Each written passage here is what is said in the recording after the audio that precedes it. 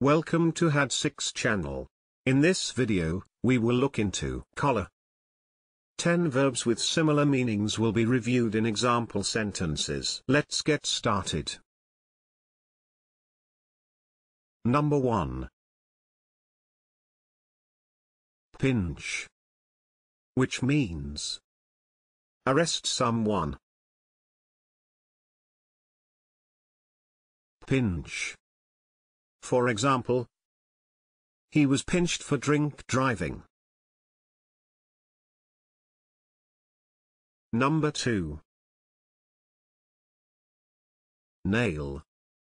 Which means detect or catch someone, especially a suspected criminal. Nail. For example, have you nailed the killer? Number 3. Detain. Which means officially seize and hold goods. Detain. For example, they were detained for questioning.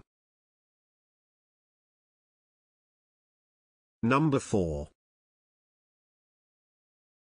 Nick. Which means Arrest someone. Nick. For example, Stuart and Dan got nicked for burglary. Number 5. Nab. Which means catch someone doing something wrong. Nab.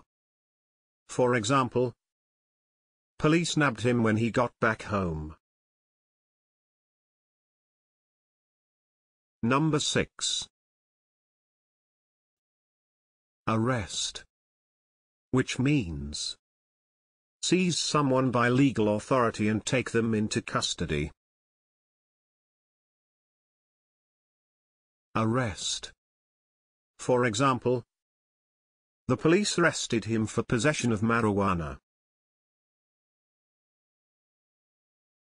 Number 7.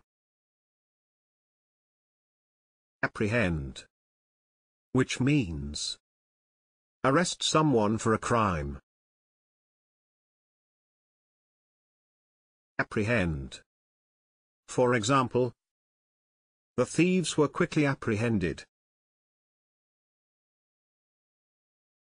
Can you think of other examples? Please share them in the comment section below. See you in the next video.